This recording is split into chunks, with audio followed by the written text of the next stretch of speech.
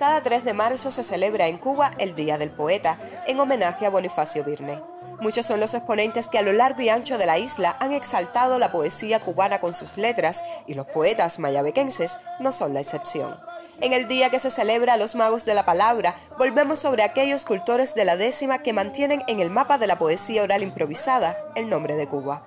Declarado en 2012 como Patrimonio Inmaterial de la Nación Cubana, el punto cubano es una de las manifestaciones más genuinas de nuestra cultura. A poetas repentistas o improvisadores, como suele conocérseles, va nuestro homenaje.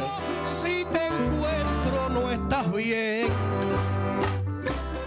Reconocida como la capital del punto cubano, Mayabeque es madre de varios de los grandes exponentes de la décima en el país, como Héctor Gutiérrez, Aramis Padilla o Tomasita Kiala, por solo mencionar algunos.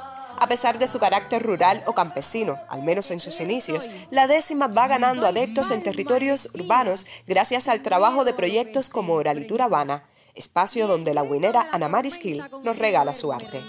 A ellas, a ellos, a todos, muchas gracias, porque la primera tarea del poeta es desanclar en nosotros una materia que quiere soñar. El cariño nos hermana, recibimos al que viene.